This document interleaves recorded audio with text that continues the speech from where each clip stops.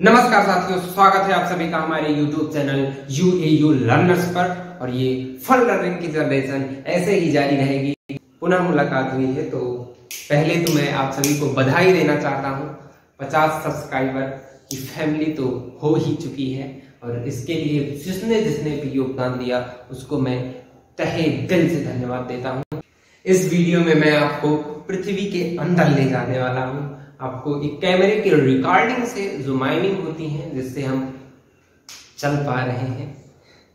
ऐसा इसलिए मैं कह रहा हूँ क्योंकि पेट्रोल जैसी चीज़ें हम खुद की माइनिंग करके ही निकालते हैं। मैं ये बिल्कुल भी नहीं कह रहा हूँ कि वो पेट्रोल की ही सर्च में वो वीडियो बनाया गया था, लेकिन होता है, ऐसी ही रिसर्च होती है, तभी हम पेट्रोल जैसी चीज़ों को और जो और सी मिनरल्स हैं, जो पृथ्वी के अंदर दबे हुए हैं, जिसे हम जियोलॉजी में पढ़ते हैं तो उसको आप आज एक्सप्लोर कर पा रहे होंगे। और इस वीडियो को आप अपनी जो सबसे ज़्यादा वाली क्षमता है, उस, उसे लगाकर इसे शेयर कीजिए। और ये बहुत ही धांसू वीडियो होने वाला है। ये डिजिटल हावर्स हैं, इसे एक सही दिशा में मोड़ने का प्रयास कर रहा हूँ जो भी पचास चौवन लोग हैं। चलिए अब फर्जी की वैकेटी से पढ़कर जो आज मैं आपको दे रहा हूँ इस वीडियो में, उसके बारे में कुछ जानकारी मैं बताता हूँ। देखिए, मैं आज आपको माइनिंग का एक वीडियो दिखाऊँगा। मतलब एक बोर होल किया गया है। बोर होल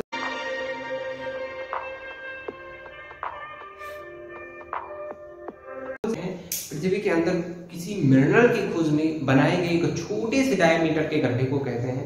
और उसी में कोई मशीन कोई कैमरा लेकर गई थी। और उसी की रिकॉर्डिंग मैं आपको दिखाऊँगा। लेकिन रिकॉर्डिंग तो देख लेंगे, फिर वही फर्जी बात होगी कि मैं आपको कोई क्वालिटी टाइम नहीं दे पा रहा हूँ तो उससे पहले उससे पहले मैं आपको पृथ्वी की एक छोटी सी आंतरिक संरचना को जो आप समतल सा देख रहे हैं उसकी छोटी सी अंतरिक्ष संरचना को आपको दिखाने का प्रयत्न करता हूँ।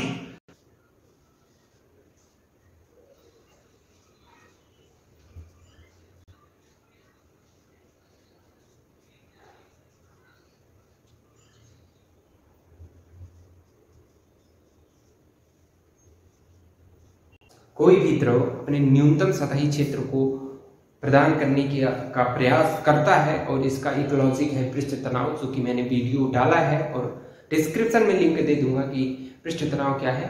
तो कोई भी चीज़ अगर गोलीय है तो पृष्ठ तनाव उसमें काम करेगा, लेकिन वो द्रव होना चाहिए। देखिए, द्रव अभी तो नहीं है पृथ्वी, आप कहेंगे, लेकिन द्रव है पृथ्वी। जैसे आप किसी सेब को एक स्लाइस काटते हैं छोटा सा टुकड़ा काटते हैं, वैसे ही ये भी है। ये पृथ्वी की स्लाइस है और इसी को मैं आपको बता रहा हूँ। इसको मैं विस्तृत वीडियो बना सकता हूँ कि पृथ्वी की आंतरिक संरचना क्या है, कैसे है। लेकिन इस समय मैं आपको सिर्फ़ माइनिंग से रिलेटेड कुछ चीज़ें बताना चाहता हूँ तो मैं उसको बाद में बना दूँगा, लेकिन इस तरह इस समय मैं थोड़ी सी आपको समझ दे देता हूँ ताकि आपका quality time so quality time है, आप हमें देख रहे हैं तो मैं आपको उस क्वालिटी टाइम को दे सकूँ। तो पृथ्वी की जो आंतरिक संरचना है, उसे मुख्यतः तीन लेयर्स में डिवाइड किया गया है और सबसे बाहरी वाली लेयर को कहा जाता है।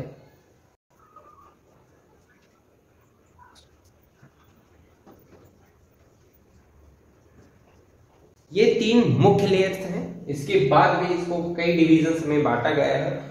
उसका आधार ये था कि कहाँ से पृथ्वी कहाँ तक ठोस है, फिर कहाँ से मैं थोड़ी सी द्रव अवस्था में है, जैसे जो लावा हुआ पृथ्वी के अंदर से निकलता है, जो मैग्मा निकलता है, आप ज्वालामुखी देखते हैं, वो क्रस्ट का ही भाग होता है। और मैं यहाँ से एक चीज़ और बता देता हूँ आपको कि जो पृथ्वी की ऊपरी सतह है, वो कई प्लेट्स से बन के बनी है।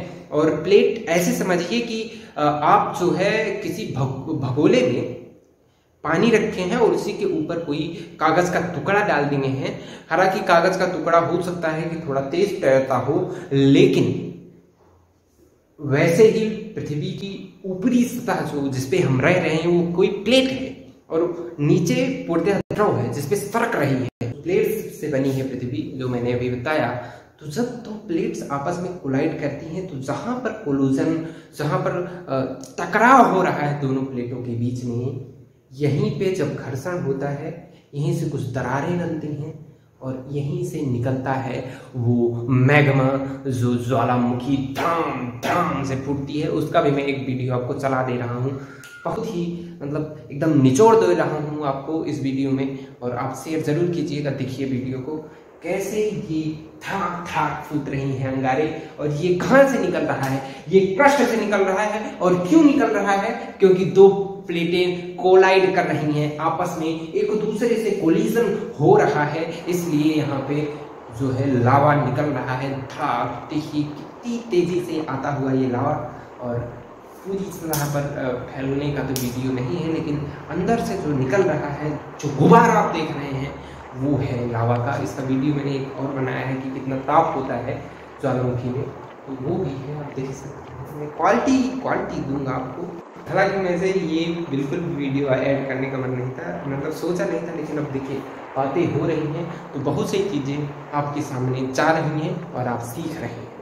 तो तो अब देखिए, भगवान ने जो एक माइनिंग करके दी है, जो सबसे बड़ा गड्ढा अभी तक का है, वो है प्रशांत सागर में पैसिफिक सी में, वो है मेरियाना गर्त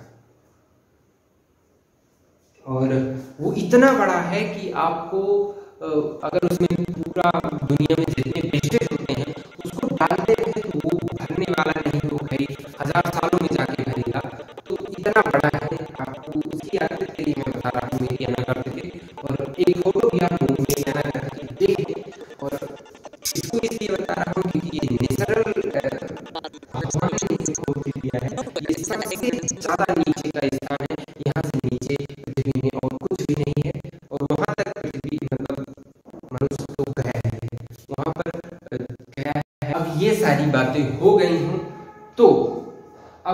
आपको माइनिंग के बारे में बताते हैं और फिर वीडियो दिखाते हैं। यह रिकॉर्डिंग पृथ्वी पर बनाए गए एक गड्ढे की है बोरहोल की है, जिसकी गहराई 90 मीटर तक।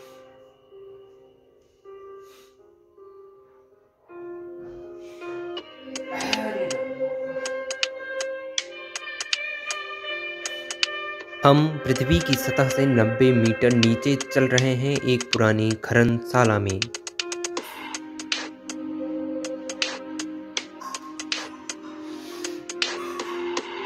जैसा कि आप देख रहे हैं, यह पानी और खनन के दौरान गिरे टुकड़ों से भरा हुआ है। किनारे पर आपको गाढ़े रंग की पट्टियाँ दिख रही हैं। ये कार्बन के पदार्थ की अधिकता के कारण है, जबकि हल्के रंग की पट्टियाँ बालू से बने चट्टान की हैं। आपको हम ये भी बता दें कि इस गड्ढे की व्यास मतलब चौड़ाई 400 मिलीमीटर की है। अगर आप नोटिस कर रहे हो तो जो किनारे पे बनी दरारें हैं, वो खनन के दौरान बनी हुई हैं और ये खनन का सूचक है।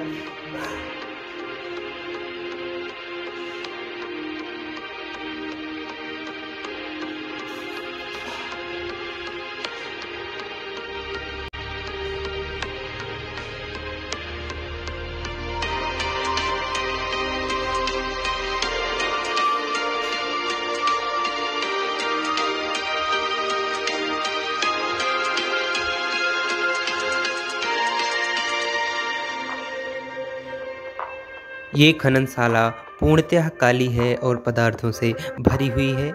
और अब हम अपने डेस्टिनेशन मतलब गंतव्य पर पहुँच गए। और ये पूरी प्रक्रिया ऊर्जा के भंडार को आकलित करने में प्रयोग की जाएगी। और अंततः साथियों, यदि वीडियो अच्छा लगा हो तो चैनल सब्सक्राइब करें। धन्यवाद।